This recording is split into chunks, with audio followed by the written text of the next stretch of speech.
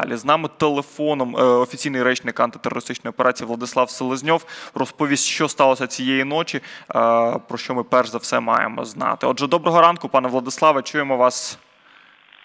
Доброго ранку, студія. А які новини є на цей момент? Що цікавого сталося? Про що ми маємо е, про що ми маємо знати з вами сьогодні? Так, ну значно інформація щодо того, що відбувається в районах, де проводиться антитерористична операція, яка зараз перебуває в базі е, плану мирного врегулювання ситуації в східних регіонах України. Тобто е, сила то продовжують нести службу на блокпостах, забезпечить охорону та оборону державного кордону. Е, ці за минулу добу, що відбулося? Відбулося кілька нападів на блокпости та колони українських військовослужбовців, які рухалися визначеними дорогами в рамках ротації військ сил, які знаходяться в районі проведення антитерористичної операції. Е, Внаслідок цих обстрілів ми маємо постраждалих п'ятьох українських військовослужбовців, а також отримав поранення один український прикордонник. Е, А одночасно з цим я маю констатувати, що бойовики ведуть обстріл позиції українських військовослужбовців, буферну зону, тобто ведуть вогонь з території, що межують державним кордоном України, тим самим провокуючи наші сили на вогонь у відповідь, щоб в подальшому звинуватити сили АТО у веденні вогню у бік Російської Федерації.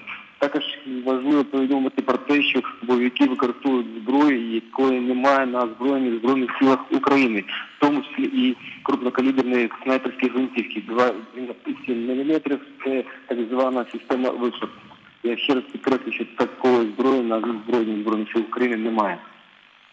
Е, Пане Селезньов, скажіть, будь ласка, ще це цікава така інформація. Постійно говорять там е, представники силових структур, взагалі наближені до цих е, структур, що вони ну хочуть воювати далі, хочуть знищити тих людей, які там перебувають зі зброєю зараз в східних регіонах. І багато хто скептично відреагував на план Порошенка. Зараз цей план ну в аспекті перемир'я реалізується. Як на це реагують українські силовики? Чи немає десь прецедентів, коли це перемир'я з боку українських сил було порушено? Тому що ну ми маємо на цьому акцентувати увагу, оскільки розуміємо, що ймовірно з боку російських медіа буде постійно е, тиражуватись та тема, що насправді перемир'я з боку українських військових немає.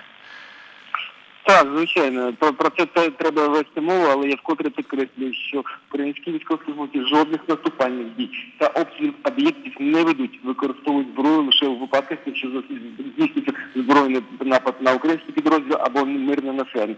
Це інше е, заяви з того, веде якісь наступальні дії або дійсно обстріл, обстріл тих чи інших об'єктів, то маячня і провокації спрямована на те, щоб дискредитувати сили АТО. Отже, дуже дякуємо Владиславу Селезньову. Нагадую, жодних наступальних дій. Це щойно сказав офіційний речник антитерористичної операції.